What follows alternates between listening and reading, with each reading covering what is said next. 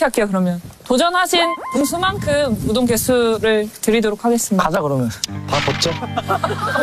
진작에 하지 컬링 왜 했어? 야, 야, 이렇게까지 해서 밥을 먹어야 되는 거야? 난 정말 이해를 못 하겠어. 뭐하냐?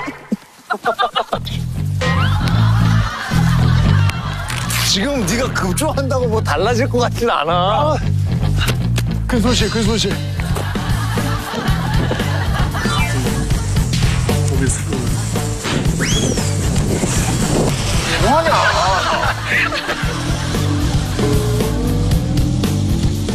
준비, 준비.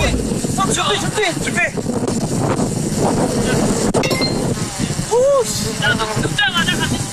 하나, 둘, 셋, 아!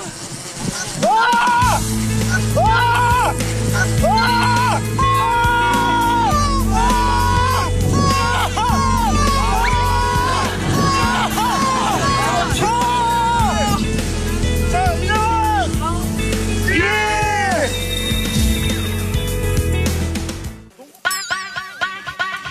야 이렇게 하면서 내 자신을 더 내려놓게 되는구나. 아싸, 밥 먹는다. 야, 나 울 것 같아.